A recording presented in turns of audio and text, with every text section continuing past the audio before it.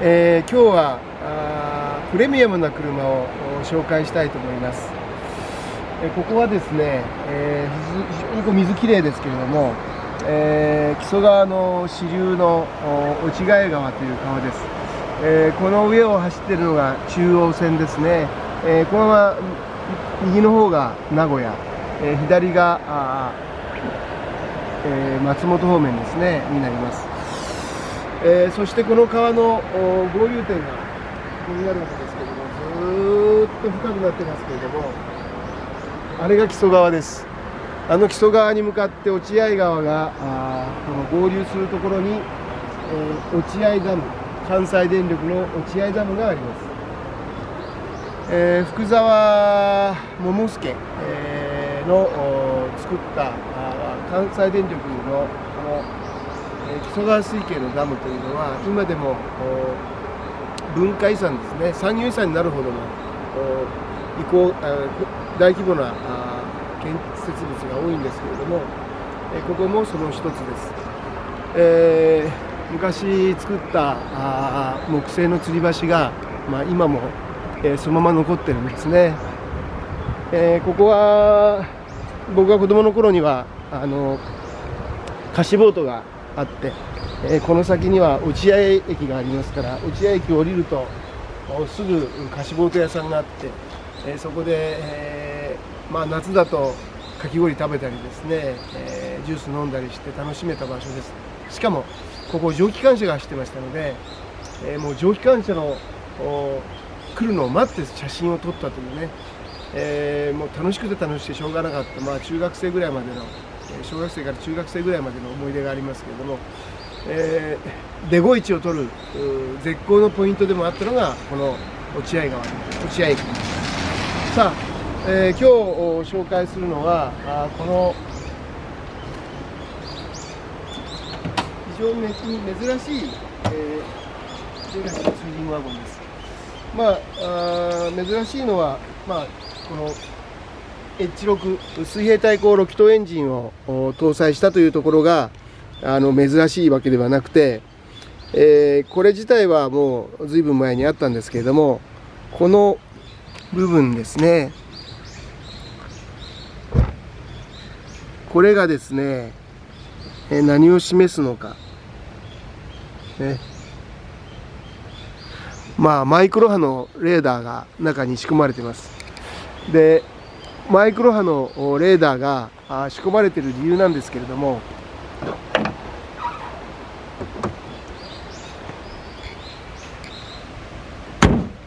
この車は SI クルーズという名前がついてます、えー、この頃特にですね、えー、そういう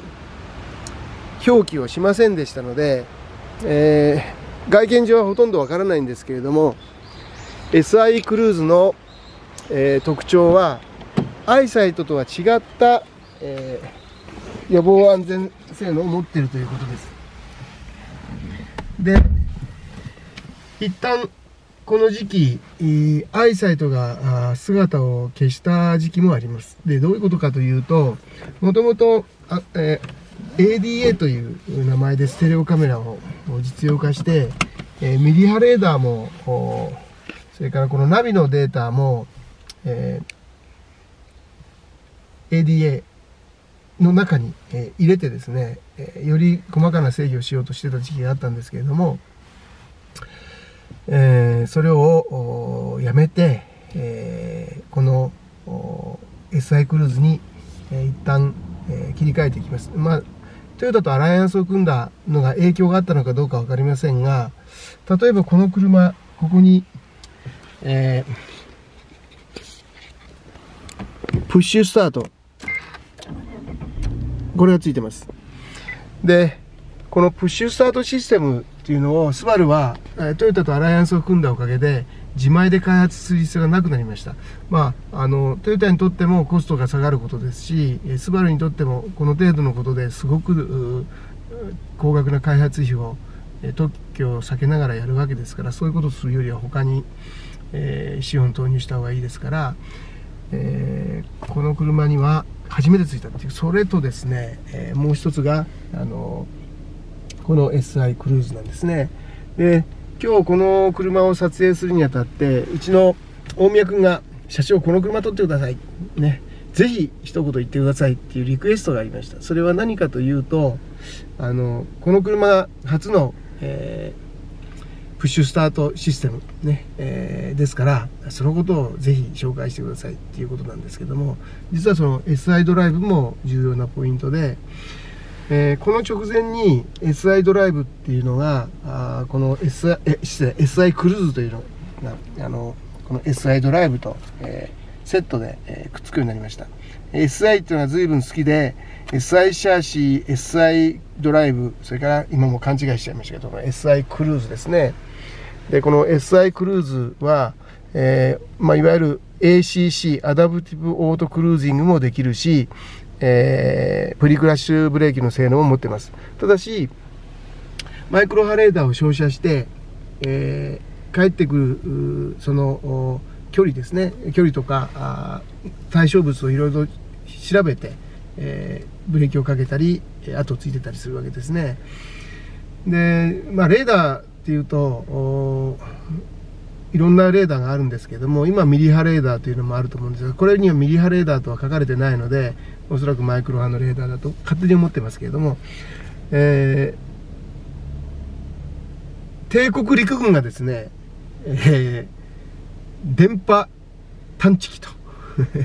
えー、まああそういう名前で、えー、開発したのが日本におけるレーダーの第一歩だと言われてますけれども、えー、電波探知機ですね。陸軍で、帝国陸軍とスバルの関係は深いです。えー、中島筑平は、あ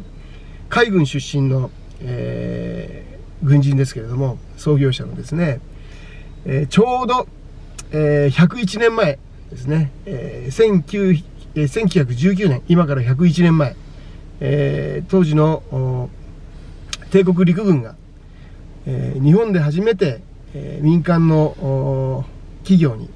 えー、航空機を発注した年でもあります。101年前。その帝国陸軍があ日本で初めて航空機を発注した先が中島飛行機だったという。えー、その帝国陸軍が電波探知機と。対する海軍は、えー、電波探信儀と呼んでたようですけれども、まあ、あの、そんなことはどうでもいいんですが、え、これには、あそれがついてるんですけれども、このあとですね、どういうことになっていくかというと、実にちょっと複雑なんですね。このレガシーは、えー、3リットルで高い車です。えー、この車のですね、E タイプ。えー、ちょっと前には特装車、特別使用車で、え期間限定で出たんですけども、これはもうカタログモデルです。21万5000円高いんです。SI クルーズは。ね。で、21万5000円も高くても、このように買った人はいっぱいいるわけですね。それはやっぱり先進機能があったからですけれども、アイサイトよりも安いので、えー、これを世の中に出したと思います。で、SI クルーズのこの車の車両本体価格が329万5000円なんですね。で、最終型の F タイプになった時に、この価格差がですね、実は15万円差まで落とされてます。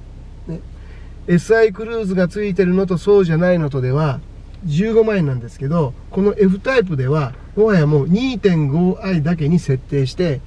いわゆる普及バージョンにしたわけです。ですから、この頃、アイサイトとですね、あの、この SI クルーズは併売されてるわけです。で、面白いことに、アイサイトが再び登場した時に、335万5000円で発売になってますから、まあ大体これと同等の車ですね。これは、当時のこの SI クルーズに対して6万円高という設定なんですね。でもよくよく見るとですねこの価格差がありますので、ねえ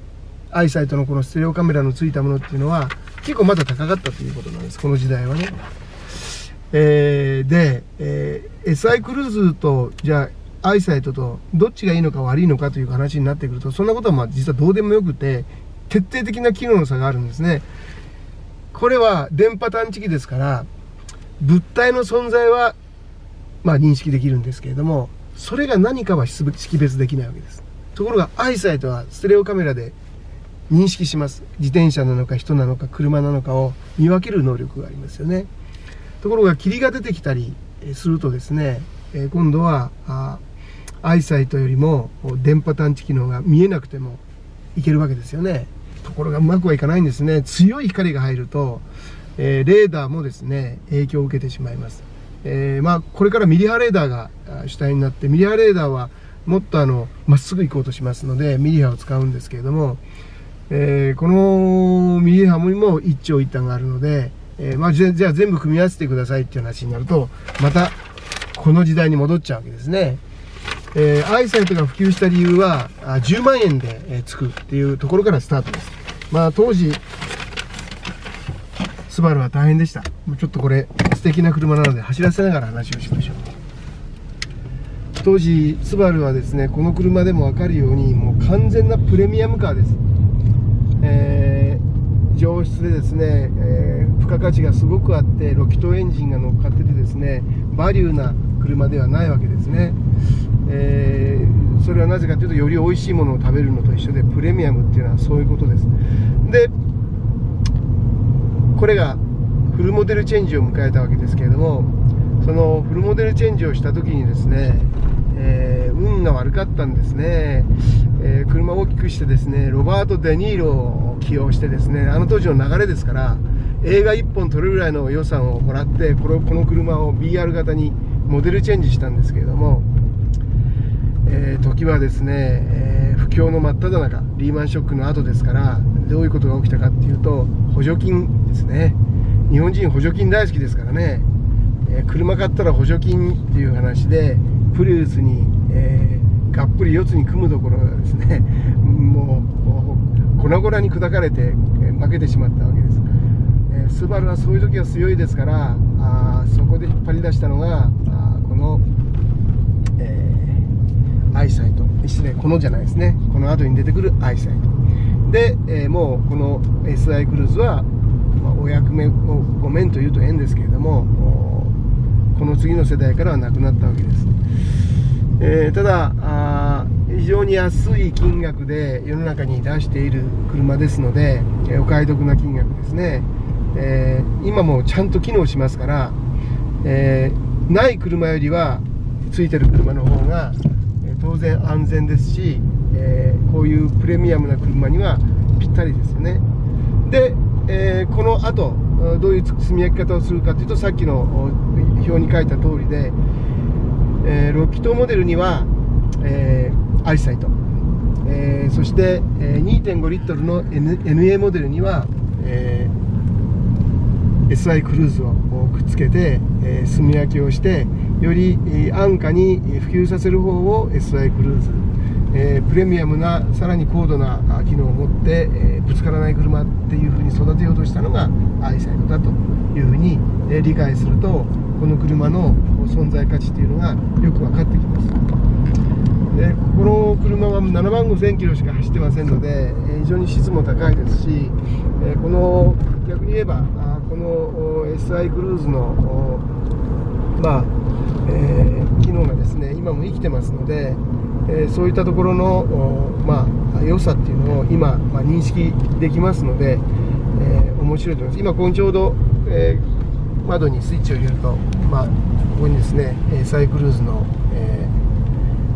マークが出てますけれども今レディーになってますけれども、まあ、こういうあの機能がこの頃からもうついてたということですね。えー、まあ、そこら辺でこの SI クルーズの話はやめにして、えー、やっぱりこう乗ってみてですね非常にいいのはこういう上り坂が続くような道路をですね走った時に今もこの動画で分かると思うんですけれどもぐーっと登って